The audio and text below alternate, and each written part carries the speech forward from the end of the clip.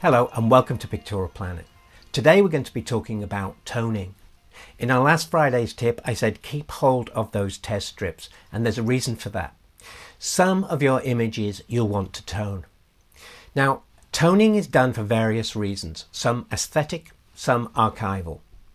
The main archival toners are sepia, selenium and gold. They're the three you want to use if you want your pictures to last basically forever. We're going to look at sepia toning today, and it's not particularly for archival reasons, but it's for aesthetic. I have a photograph of the garden that I want to have a very slight nostalgic feel about it. We're going to look at how to do that with thiocarbamide or sepia toning. Let's go. So before we start making our bleach and toner, let's just talk about the chemicals we're going to need. So first of all, you'll need some sodium hydroxide and you'll need some thiourea. These are the two chemicals that's going to make the toner. For the bleach, we're going to need potassium ferricyanide and potassium bromide. Now, this is one of the simplest of all the formulas I'll cover on my channel, I think, because every single one of these chemicals is going to be used at one and a half teaspoons. So it's really simple. And don't get hung up about these measurements because it really is a very simple and straightforward process, bleaching and toning, and you don't need the accuracy that you need when you're developing films, for instance. So let's make up our chemicals now. The first thing I'm going to do is make up the thiourea. So like I said, I need one and a half teaspoons of this. So here I have my teaspoon measurements. I've got the one teaspoon and I have 100 milliliters of warm water. Now, as you can see, I'm not even going to level the teaspoon because this is a very simple operation. One and a half teaspoons.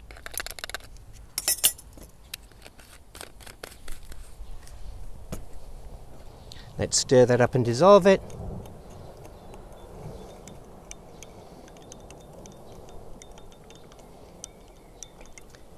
And that will make our 5% solution of thiourea. And for those with scales who want accuracy, it's 5 grams.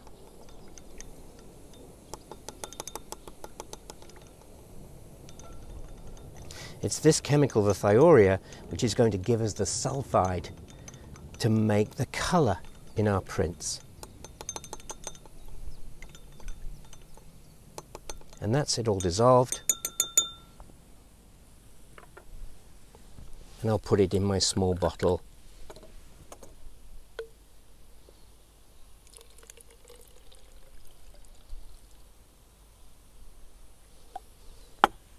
Now, a word of warning about thiourea. Be careful with this in the darkroom. The powder of the thiourea, if it gets on prints, can stain them. And it can also damage unprocessed paper as well. So do be careful with this in the darkroom. This is why I'm mixing it outside. Okay, I'm going to wash this out and then we'll do the sodium hydroxide. Okay, so now the sodium hydroxide. Now this is caustic, so be careful with this. Don't get this on your skin, your eyes, or breathe it in. And we want our one and a half teaspoons. One and a half. Add it slowly. It does get hot when it dissolves.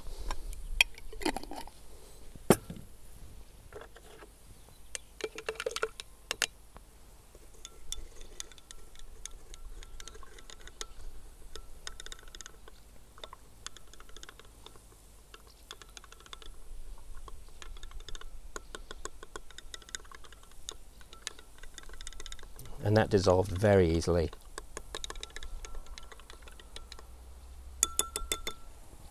Okay, now if it gets hot, be careful, stop adding it if it gets too hot. But now it's going to be okay, I think it'll be cool enough to put into the bottle. And for those with scales, that's 10 grams, one and a half teaspoons.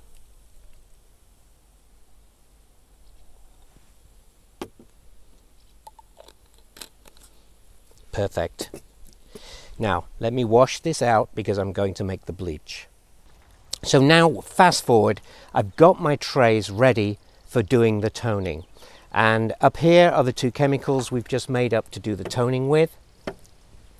And a measuring jug. And here are the chemicals to make the bleach with.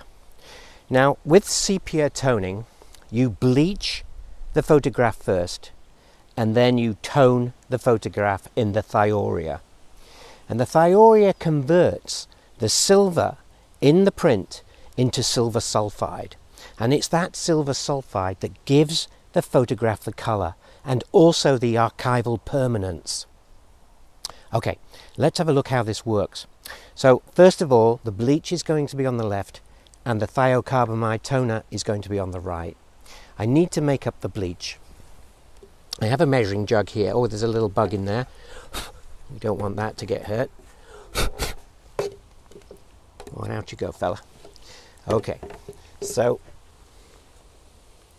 we're going to make one litre of bleach.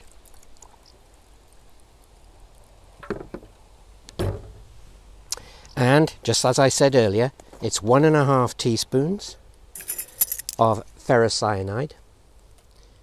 You don't have to be dead accurate with this. This is an art.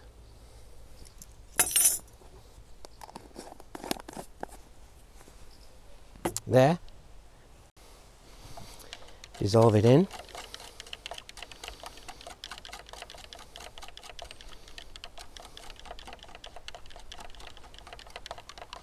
Okay.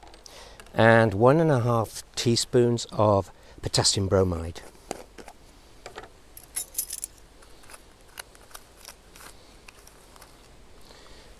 Approximately one.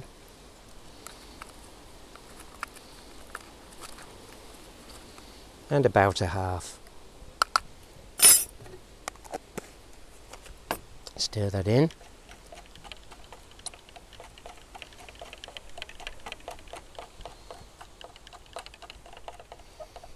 You'll recognize the color of this. It's very similar to the solution we made for liquid sunshine. And of course, it's going to do the same thing. It's going to bleach the print. There. I'm going to give that a wash.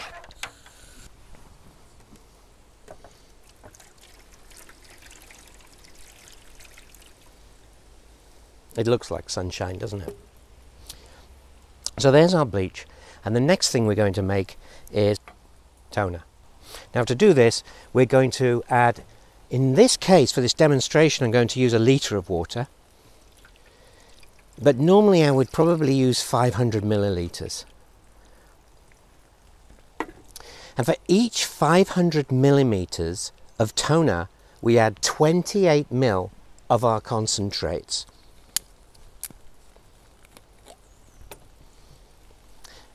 So in this case, I'm going to add 56 mil.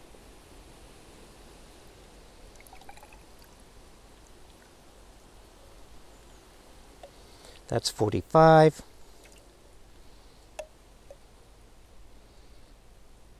And another 10.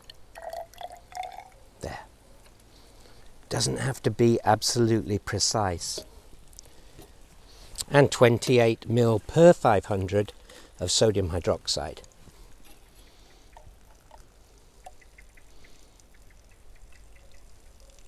So 56 for this one litre.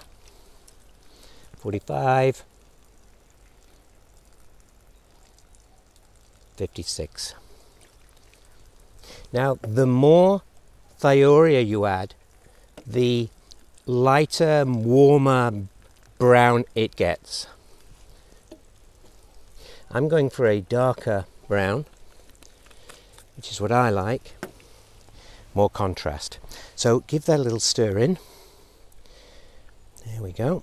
That will dissipate through the solution.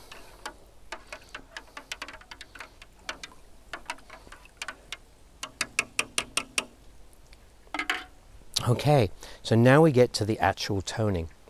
Now here I have some of those test strips that we talked about on my last quick tip.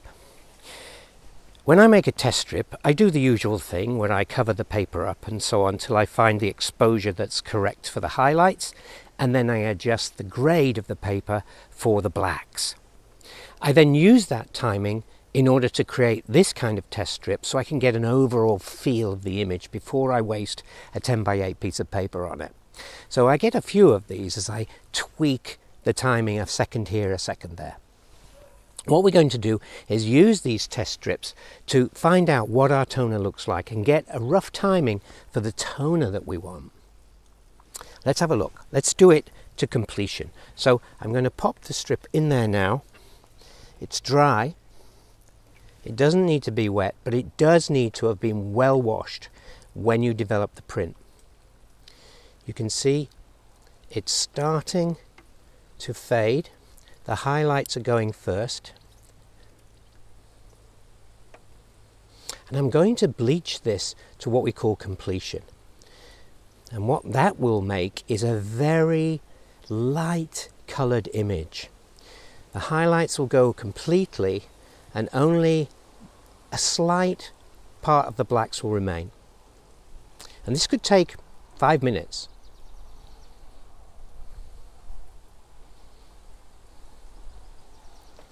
So you can now see that the bleach is really acting on the highlights, they're disappearing. It's great that you can do this in the daylight and see exactly how your print is going. It's been about a minute and the grass is disappearing in the highlights.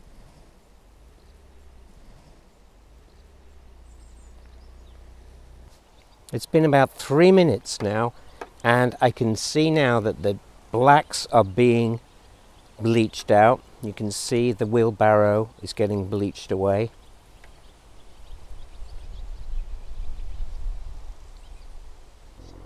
Okay, so that's where I'm happy to have it. Let me just show you that to the camera. I think you can see there that all the contrast has gone. It's a very light and slightly brown image that used to be the photograph. The next thing to do is to make sure you thoroughly wash this yellow chemical, the ferricyanide, out of this paper. So I'm going to give it a good wash of at least two minutes for RC paper and 10 or 20 minutes for fiber-based paper. You've really got to make sure the ferricyanide is out. Now the first test strip has been washing for two or three minutes and we've completely removed the ferricyanide bleach from it. Let me show you it now. There it is. It's very faint, a slight warm brown colour and we're going to add that now to the redeveloper, the sepia toner itself. I've washed my tongs. Let's pop it in and see what happens. Immediately she's building up contrast.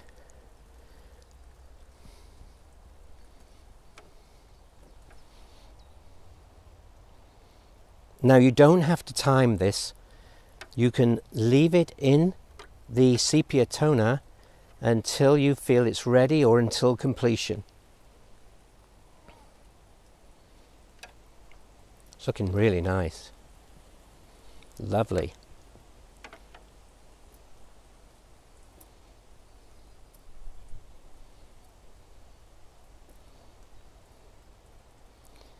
All right, I think that that's ready.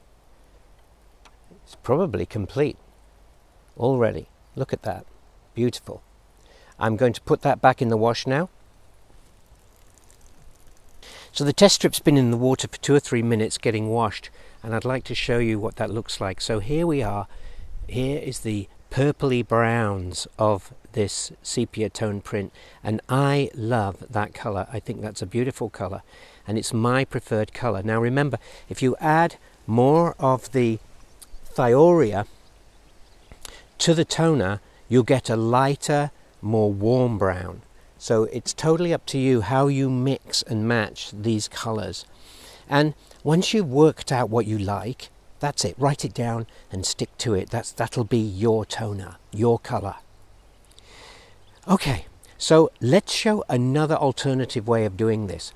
If I wanted more blacks in this picture, I could actually pull it from the bleach more quickly. I could let the highlights bleach before the blacks went. Let's try that on the next test strip. So here I have the next test strip. Let's pop it in and this time we're going to pull it before it's completely bleached. Again, this has been processed normally in the darkroom and very well washed to make sure there's no fixer in this paper because if you have not washed your print properly and there's any fixer left you'll find that the bleach stays bleached. The fixer fixes the bleached condition. Alright so we can now see the highlights are getting bleached first. And the blacks are still black. So I'm going to pull this now and I'm going to put it in the wash water so the second test strip has been in the wash now, and this is the one I pulled. You can see the blacks are still black, but the highlights have been bleached, and they're very slightly red or brown. And we're going to put this one straight into the toner, and we'll see what happens. So the contrast is coming straight back into the grass, but the highlights are being toned a beautiful brown colour, a very light, delicate brown. This is a sort of split toning, where we haven't split two tones, but we've just toned one part of the image, the highlights. You can see that's quite attractive. And that, I believe, is it toned to completion. Let me give that a wash and show it to you.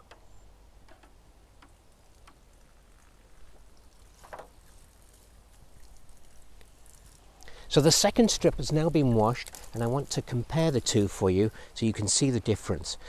On the, at the top is the first test strip that we bleached to completion which isn't completely white. There was a faint light brown image and then toned and then the bottom strip is where we've pulled it from the bleach while the blacks were still black.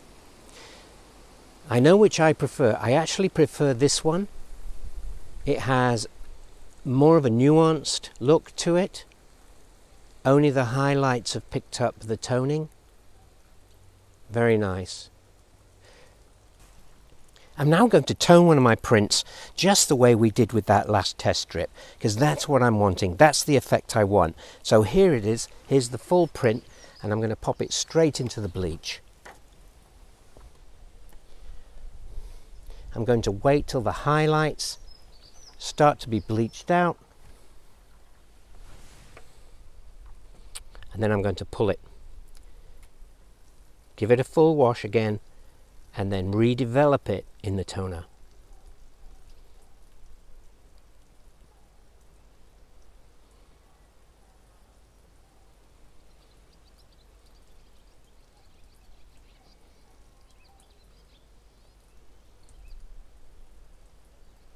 The highlights are definitely starting to go. Yes, that's it. I'm going to pull it now. And pop it into the wash bath. So here's the print, nicely toned, and put that in front of the camera properly, nicely toned, although I still think it's a little bit too brown for me. I'm going to do another one, I'm going to pull it faster this time and get it out of that bleach before it creates so much bleaching. So let's have a go at that. In it goes.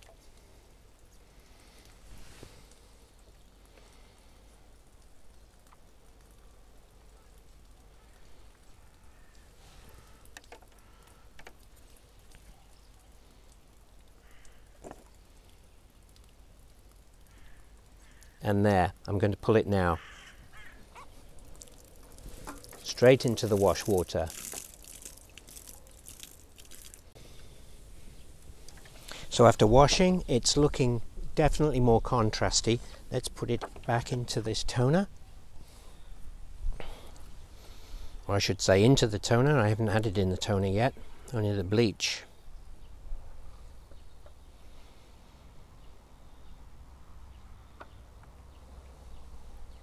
Now with these pictures that we're half toning, it's important you refix them afterwards because there could be some silver that hasn't quite been redeveloped left over.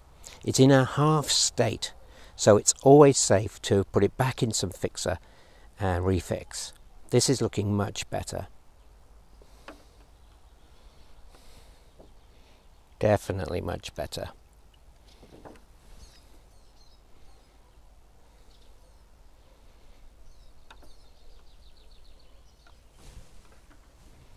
All right, let's get that in the wash. So now coming out of the water bath, I like this new one much better. There's the new one that I've just done. You can see it's much more subtly toned. And I do like it when a photograph is toned in such a way as people take a second look at it because they're not sure if it's toned or not. And this was the one before it, which I didn't pull quickly enough from the bleach. Um, and I think that's too brown for me. I definitely preferred this one.